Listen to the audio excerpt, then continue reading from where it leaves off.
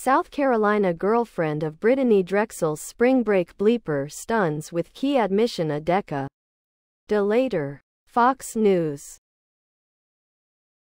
The girlfriend of the man who kidnapped and bleeped 17-year-old Brittanee Drexel while she was on SP. Ring break in Myrtle Beach in 2009 has pleaded guilty to lying to the FBI. Below are your comments. I remember this case and my heart broke for her mom. The whole event was heartbreaking and still turns my stomach. Prayers sent.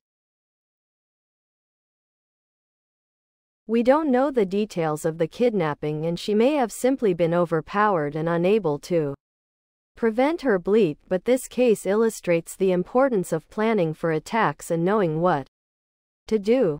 Do not go anywhere with anyone.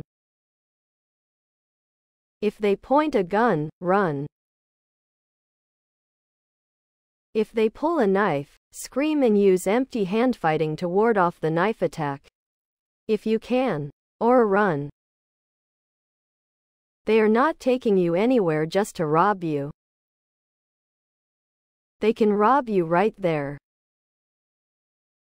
Pay no attention to anything they say. Credit JJ. Bittenbinder, former cop, for this advice.